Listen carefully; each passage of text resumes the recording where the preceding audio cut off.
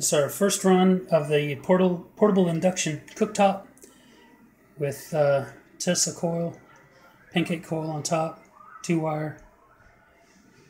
Um, got a kilowatt meter over here on the wall. We want to see what it's pulling. We got analog voltage gauge here. You can see what's coming off that output right there. And then we're plugging it straight into a 1500 watt heater. And it does uh, fire up the Fan doesn't blow much, but um, that fan never works well in that heater anyway. So we're going to see what we get.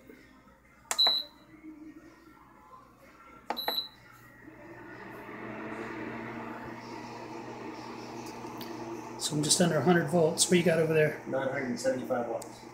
Wow. Dropped to about 963. Bounce around the 960s. It's getting hot. So what happened before? This started raising. It's raising now. It's breaking over 100.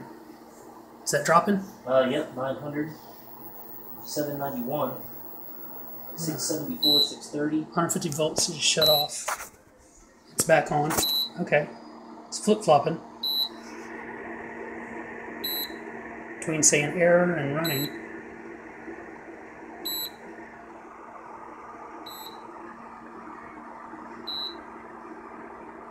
Yeah, this isn't even warm. This coil? Mm-hmm. It's not warm at all. You're like jumping between like, you know, 140 and 220 whenever it beeps. The element's hot, it's just not blowing good. I say we just try the element all by itself. Alright, thanks for watching.